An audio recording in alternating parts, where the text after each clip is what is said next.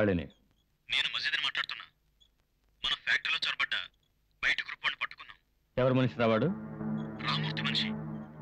రేయ్ నేను వచ్చే వరకు వాడిని ఏం చేయొద్దు. నేను ఇప్పుడే వస్తున్నా.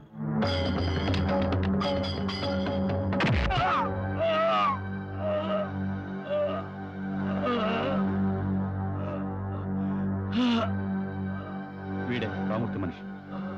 రేయ్ ఇంకా ఊపిరినట్టుందిరా ఆ గొంతు మీద కాలేసి నలుపు.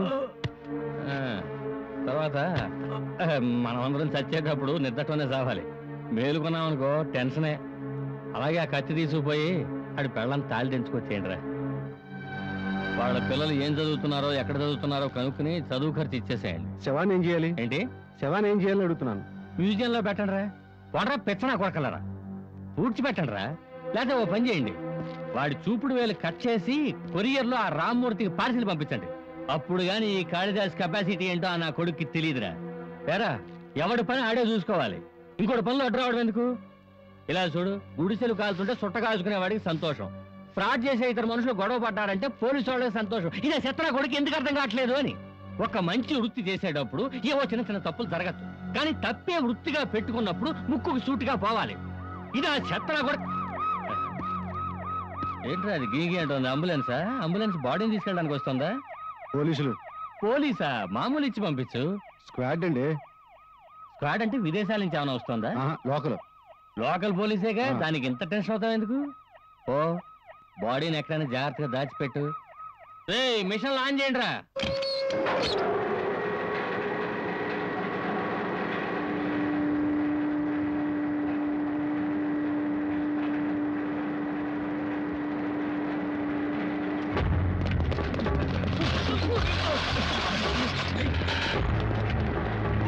ఏమిటయ్యా? ఇక్కడికి ఎందుకు వచ్చారు? కానిస్టేబుల్ లోపలికి వెళ్ళి అన్ని చోట్ల సెర్చ్ చేయండి. ఏమిటి? లోపల సెట్ చేయమంటున్నారు? ఇంకా కొంచెం సేపట్లో నీ బండారం బయటపడుతుంది చూస్తూ!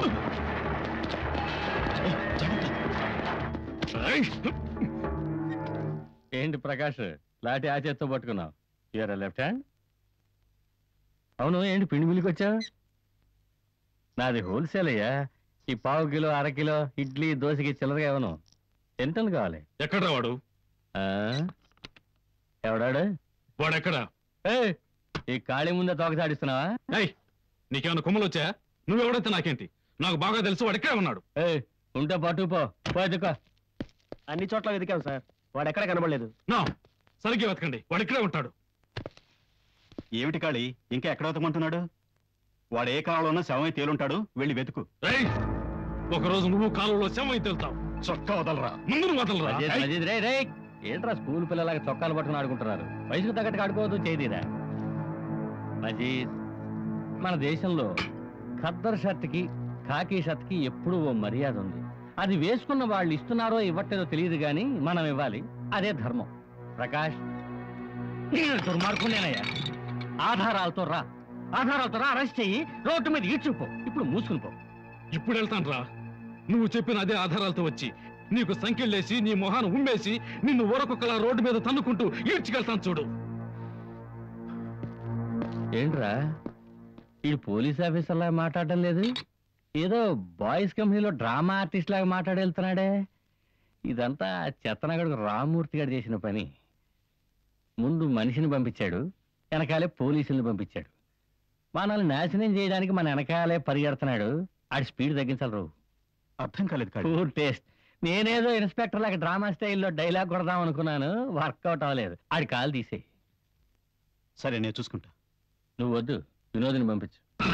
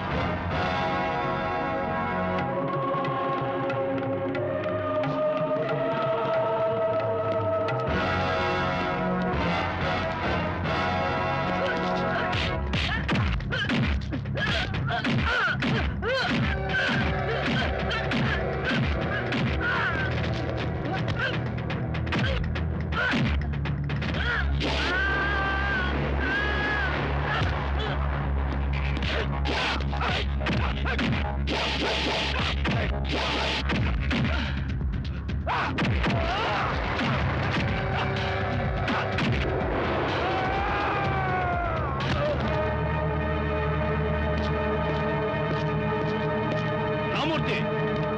రామూర్తి!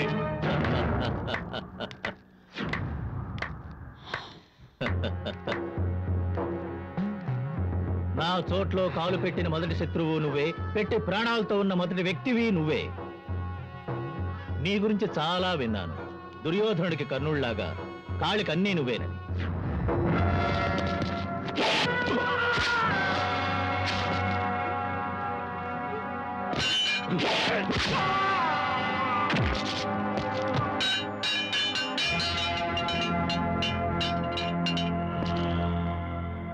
కళ్ళారా నువ్వే చూసావుగా?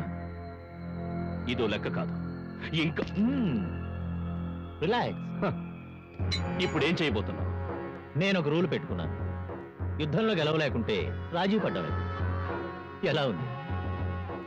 ఈ తెల్లగుడ్డని కాళీకిచ్చి ఇక మీదటి గొడవలొద్దు రాజీ పడిపోదామని చెప్పు.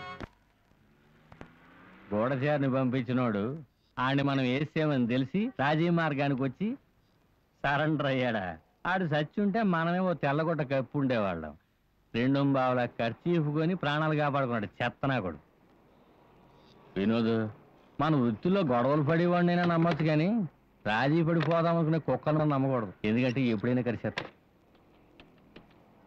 హలో ఇన్స్పెక్టర్ ప్రకాష్ గారు ఉన్నారా? నేను ఆయనకి కావాల్సిన ఉన్నాండి ఊరి నుంచి వచ్చాను. అలాగా ఆయన వస్తే four eight double three six three వన్కి ఫోన్ చేయమని చెప్పండి. Thank you. నీ ఫోన్ నెంబరే ఇచ్చాను. అలా అని టెలిఫోన్లోనే అడ్వైజ్ చేయడం మొదలెట్టక. వినోద్ టెలిఫోన్లో లవ్ గురించి మాట్లాడుకోవచ్చు. మన వ్యాపారం గురించి మాట్లాడుకోకూడదు. ఫ్లాట్ కదా? అందుకని పర్సనల్గా రమ్మని అడ్వైజ్ చేయి. ఆ, కాళీ ఇవ్వాలొద్దు. ఏ ముహూర్తం బాలేదా? ఆ, అది కాదు తమ్ముడు ఈరోజు ఓ నీ తమ్ముడు ఈరోజు అమెరికా నుంచి వస్తున్నాడు కదా? హాఫ్ డ్రైవర్తో తిరుగుతున్న కుర్రాడు ఈ వేళ అమెరికాలో చదువుకుని తిరిగి వస్తున్నాడు. రోజులు గడిచేదే తెలియటం లేదు. వినోద్ నిన్ను మొట్టమొదటిసారిగా ఎక్కడ చూసానో గుర్తుందా? ఆ, మీ నాన్న చచ్చిపోయాడని ఊళ్ళోంచి కట్టుబట్టలతో వచ్చి నుంచున్నావే? ఏ నిన్ను దెప్పుతున్నాను అనుకో ఒక పాత రోజులు గుర్తు చేస్తున్నాను అంతే.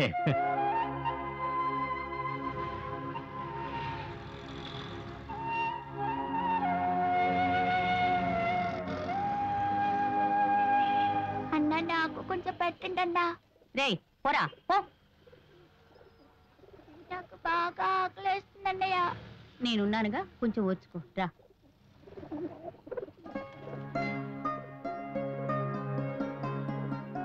పేరేంటి విజయ్ నీ పేరేంటి? ఇందు. పావురాలకి గింజలు వేస్తావా? ఇందా.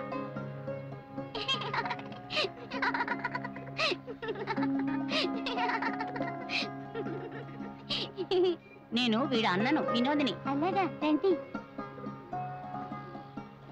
ఇతనే మా అన్న ప్రకాష్. ఇందా. రే డబ్బులు ఇచ్చి తీసుకోరా. ఇవ్వకపోతే ఏం చేస్తావరా? రే ఎందుకు రావాణి కొడుతున్నావు? ఓహో బిచ్చం ఎత్తుకునే పిల్లలా ఇక్కడికి ఎందుకు వచ్చారా? మేము బిచ్చం ఎత్తుకునే వాళ్ళం కాదు పల్లెటూరు నుంచి వచ్చాం. అయితే ఈ ఊరు ఎందుకు వచ్చారా? డబ్బు సంపాదించడానికి. డబ్బు సంపాదించడానికా? డబ్బు సంపాదించాలంటే నాలాగా దిల్లు ఉండాలి మా అన్నయ్యకి చాలా ధైర్యం ఉంది. ఏం కావాలన్నా చేస్తాడు కదన్నయ్య? ఏం కావాలన్నా చేస్తాడా? ఆ? అదిగో బ్యాగ్తో కాయన నుంచున్నాడే. ఆ బ్యాగ్ కొట్టే చూద్దాం. రా విజి వెళదాం. అరే భలే పిరికి పందలా ఉన్నారే. మా అన్నయ్య ఏం పీకివాడు కాదు ధైర్యవంతుడు. అన్నయ్య వెళ్ళి ఆ బ్యాగ్ తీసుకురా అన్నయ్య. వెళ్ళన్నయ్య నీ తమ్ముడు నేను చెప్తున్నాను. ధైర్యంగా వెళ్ళావు. పట్టండి పట్టండి